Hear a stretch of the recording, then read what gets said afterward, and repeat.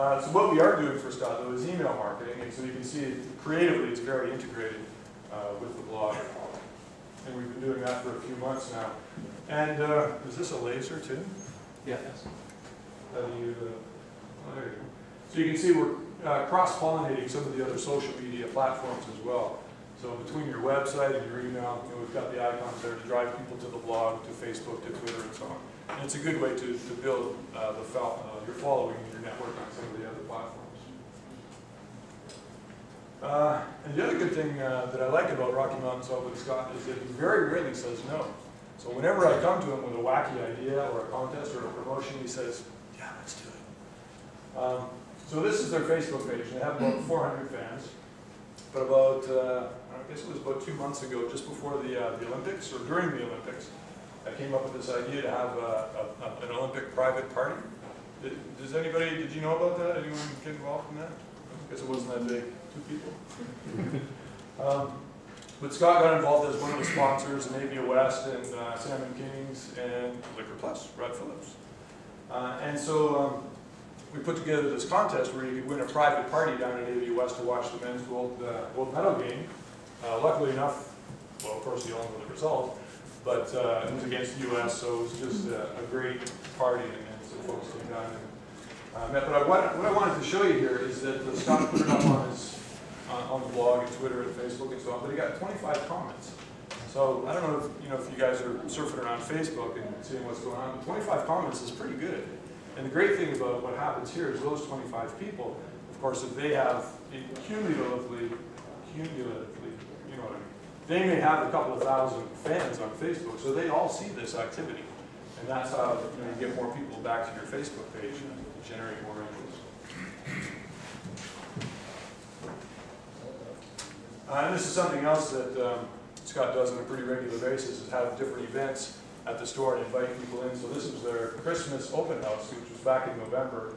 Um, he's, uh, so he put out the event on, on uh, Facebook and got 69 confirmed guests. And uh, how many people ended up showing up, Scott? Probably a lot more than that.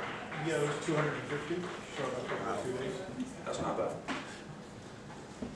Anybody here a retailer? Have a retail outlet? No? Uh, and this is Twestival. Uh, Anybody at Twestival last week? A few people? Wow, it's a whole different crowd. You missed it? Uh, anybody know about Twestival? Yeah? Not everybody, okay. So another thing that Scott's been involved in, uh, for both of them, last September and and now, uh, so you can see their, their logo down there and some of the other sponsors, but basically just really being involved in the community. So everything that's going on, you know, he, he's been a part of. So part of my kind of shtick is that the future is in earned. And this isn't really news uh, to anyone, I don't think. This has been happening for a couple of years. But, uh, you know, as, as far as I know, I don't think Rocky Mountain's uh, spent money on advertising in about six months or so. Um, and through some of these things that's, that have been going on, that has been involved with, uh, we've been on the Daily, I think Shaw TV for different things. Uh, so this has been seen on YouTube 955 times, not to mention however many people saw it when it was actually on Shaw, and it's run a couple of times. Uh, and then this is the social media club, uh, about a month or so ago. Uh, a couple of familiar faces, another guy you'll see in a second. But uh, it's just to, to show again how involved in the community, and this is kind of what social media is about, is it's not just the, the Twitter and the Facebook and so on, but meeting out at the events and, and supporting the community as well. And that's on YouTube, and that's got a, a couple of hundred views as well. This was, uh, he got involved in Habitat for Humanity, we made a gingerbread house on there, and it was, was it Shaw that we were on there? Yeah, Shaw again. and then that was so much fun that we actually built another big uh, uh, gingerbread house, and that was one of the ones that was on display down at the Laurel Point Inn uh, for a couple of months. And that was the, uh, the tweet up that we had, uh, just uh, to go up to the Laurel Point and, and view the, um, the gingerbread houses. So a lot of this, the kind of culmination of this, is that uh, Rocky Mountain Soap won the 2009 Retailer of the Year award at Mayfair Mall last year, and that's uh, Scott's wife Casio there on the left.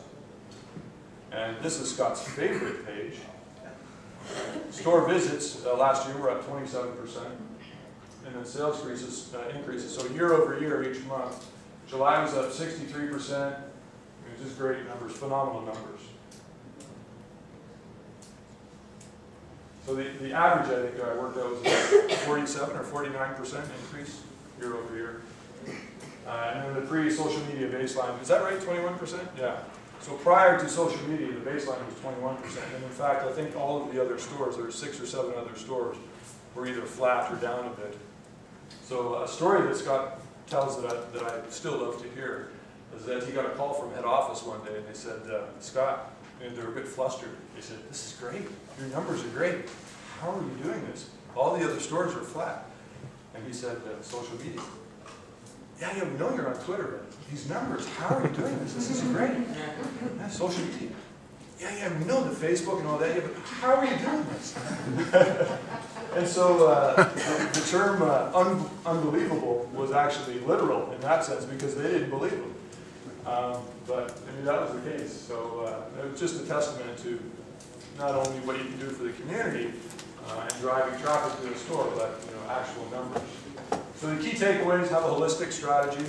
Um, and it's, it's something that it was more organic in our case where we kind of were working on stuff uh, a bit slowly, but uh, Scott's mantra is engage, engage, engage. And if you look at his Twitter feed, you'll see that there's a lot of at signs in there, meaning that he's talking to people a lot. It's not, you know, just putting out deals and, and uh, specials and so on, but there's a lot of engagement going on. Building relationships, always adding value, Rob mentioned that.